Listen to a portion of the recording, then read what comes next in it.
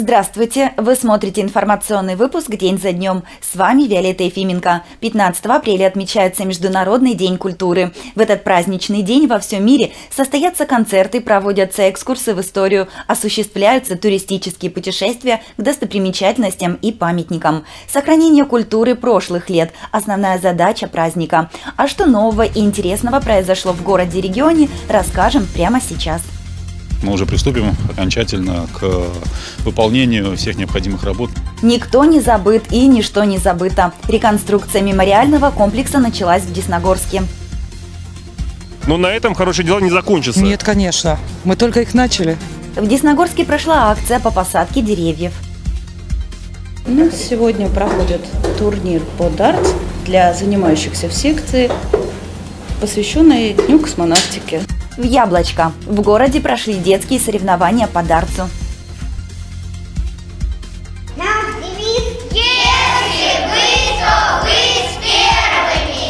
В Десногорске прошло торжественное посвящение малышей в Гагаринце.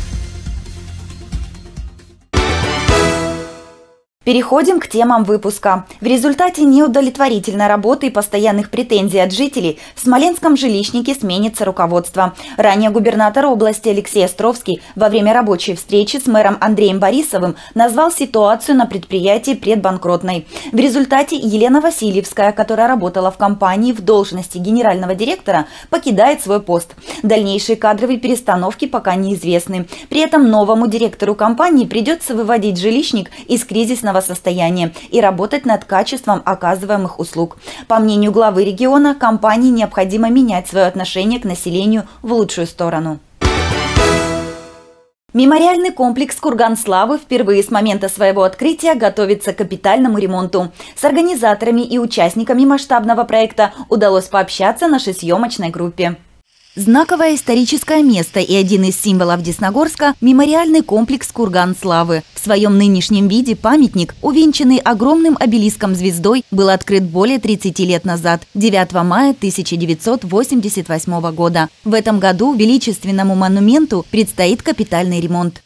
Мы обратились в концерны, тем более, когда Петров, у нас почетный гражданин, бывший депутат, стал генеральным директором. Мы обратились изначально, но были трудности. Изначально все же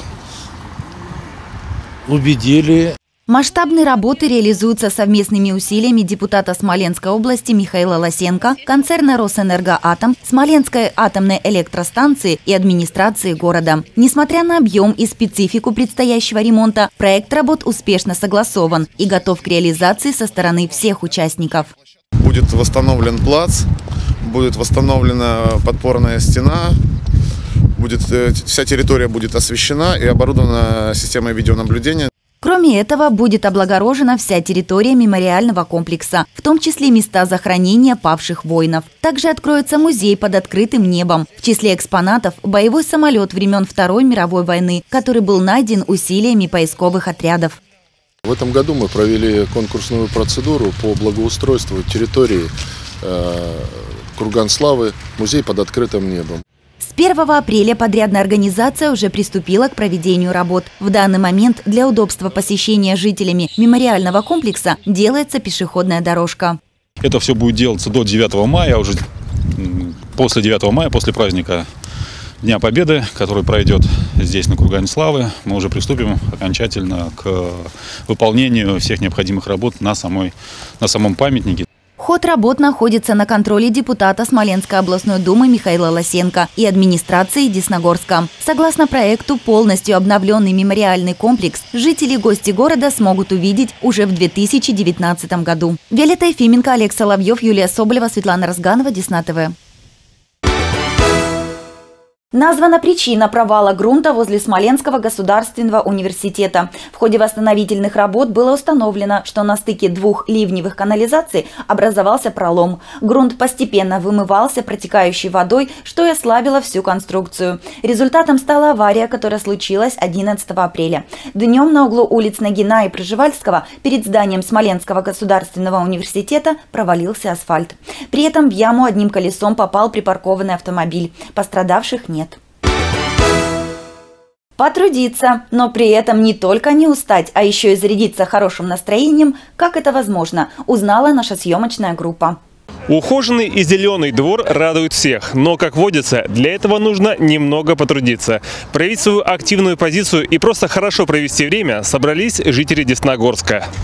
Жемчужина Смоленской области – центр атомной промышленности региона. Как только не называют Десногорск. Такое высокое звание – это не только почетное, но и ответственно. А весна – самое подходящее время для того, чтобы по-новому взглянуть на родной город и сделать его еще лучше. У нас двор э, не очень озеленен и благоустроен по сравнению со всеми дворами, которые у нас есть в городе. Поэтому и пришла такая идея, и тем более нужно сплотить наших жильцов. Елена Леднева – вдохновитель и организатор сегодняшней акции по посадке деревьев. Активная жительница решила, что комфортная городская среда – дело рук не только администрации города, но и каждого жителя. Преобразить городской двор в зеленый сквер взялись большим и дружным коллективом. Скажите, удалось вам дерево посадить? Целых три. Три? Смотрите, какие помощники.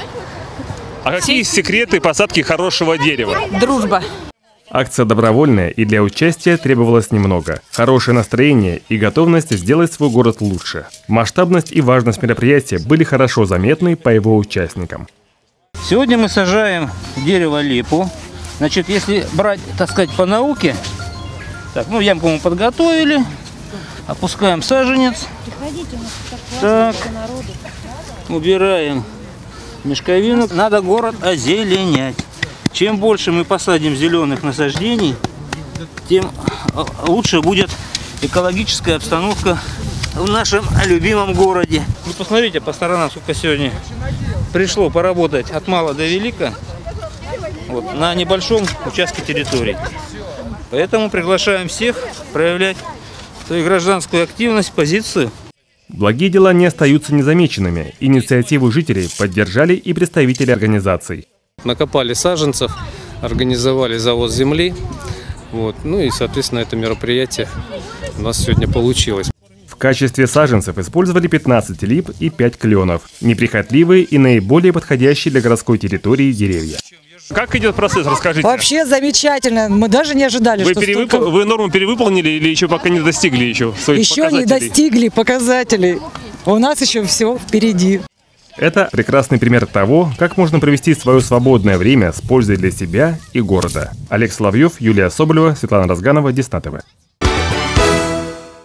Законопроект о независимом интернете прошел второе основное чтение в Государственной Думе. В текст документа к очередному заседанию депутатов было внесено 37 поправок, большинство из которых уточняют полномочия государственных органов.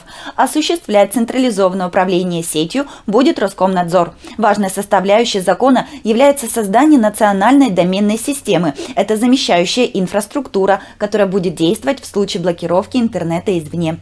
Среди прочих функций ведомства значатся контроль трафика и блокировка запрещенных в России ресурсов. Третье чтение законопроекта запланировано на 16 апреля. 12 апреля в честь знаменательного для страны события Дня космонавтики юные спортсмены дартс-клуба провели турнир. На соревнованиях по точности и глазомеру побывала и наша съемочная группа. Подробности в сюжете. Более 20 лет в Десногорске городской клуб по дарцу обучает своих воспитанников ловкости и меткости. Ребята с раннего возраста оттачивают навыки в бросках дротиков по мишени. И несмотря на один и тот же инвентарь, дартс является очень увлекательной игрой. Ребята с удовольствием посещают секцию и приобщают к этому виду спорта своих друзей.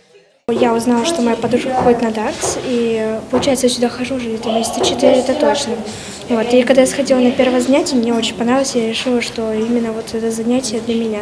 Занимаются в секции по дарцу девочки и мальчики всех возрастов. Самые юные спортсмены учатся во втором классе, поэтому на турнире команды разделились на две подгруппы – учащиеся начальной школы и учащиеся среднего звена. Проведенная перед игрой жеребьевка определила участников турнирной таблицы. Каждый игрок получил свой персональный номер. В игре очень важен набор очков, но для того, чтобы их набрать, необходимо долго и упорно тренироваться. Руку набиваешь от дротиков. Они же тяжелые, и там рывок должен рукой должен быть правильный рывок, чтобы попасть в мишень. Игра продолжалась до двух проигрышей. Сражались спортсмены за призовые места в своей подгруппе. Турнир был напряженный, но атмосфера соревнований была дружеской. Игроки помогали друг другу в подсчете очков и давали рекомендации по метанию. В итоге после двух часов увлекательной игры определились победители. В младшей подгруппе первое место заняла Элеонора Хасько. В старшей первенство одержала Варвара Чумакова. Виолетта Ефименко, Виталий Степанов, Светлана Разганова, Десна ТВ. Романтика смоленских мест отмечена авторитетным мужским журналом. Издание советует мужчинам привозить подруг в Поозерье. Национальный парк признан одним из самых красивых и романтичных мест России. В здешних местах можно прекрасно отдохнуть от города, а заодно и произвести благоприятное впечатление на свою спутницу. При этом одним из плюсов парка отмечено его расположение. Добраться до него можно на автомобиле, а это экономит и время, и деньги. Кроме Поозерья в рейтинг романтичных мест вошли берег берег Ладожского озера в Карелии, база отдыха в Кабардино-Балкарии и природный парк в Краснодарском крае. 12 апреля ряды детской школьной организации «Гагаринцы» во второй школе пополнились новыми участниками. Подробности с торжественного посвящения смотрите далее в сюжете. Начиная с 2003 года ученики второй школы ежегодно формируют отряды гагаринцев. Событие это значимое как для малышей, так и для школы в целом. Смена поколений происходит в школе раз в году, 12 апреля, в день первого полета в космос Юрия Гагарина. Вот и в этом году на сборе дружины по традиции присутствовали старшеклассники и ученики первых и третьих классов. Старшеклассники уходят, но им на смену приходит достойная замена.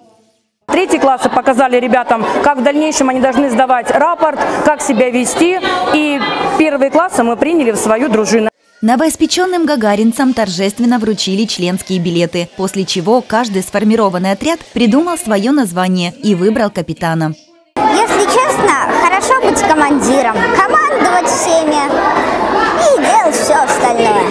На мероприятии ребята не только получили новые знания о космосе и первом космонавте, но и спели много патриотических песен. Быть частью большого проекта и с гордостью нести почетное звание гагаринца научили на этом празднике всех малышей. Виолетта Ефименко, Юлия Соболева, Светлана Разганова, Десна ТВ. Специалисты из Института региональной экспертизы составили рейтинг протестной активности российских регионов за март нынешнего года. Специалисты проанализировали число протестов, акций и количество участников в них и присвоили соответствующие баллы каждой области в составе России. При этом использовался поправочный коэффициент, благодаря которому удалось учесть демографические различия регионов. В результате лидером по протестам стала Ингушетия, на втором месте – Якутия. Смоленская область оказалась в зеленой зоне и заняла 70 место в списке, благодаря двум протестным акциям, которые были проведены в марте. Никакой протестной активности не было отмечено лишь в Чечне и Чукотском автономном округе. И коротко о погоде. 16 апреля днем до 13 градусов тепла, ночью 2. Преимущественно солнечно. На сегодня это все новости. Все самое важное и актуальное не только на нашем телеканале, но и на сайте desnadefistv.ru. С вами была Виолетта Ефименко. Всем хорошего настроения и только позитивных новостей.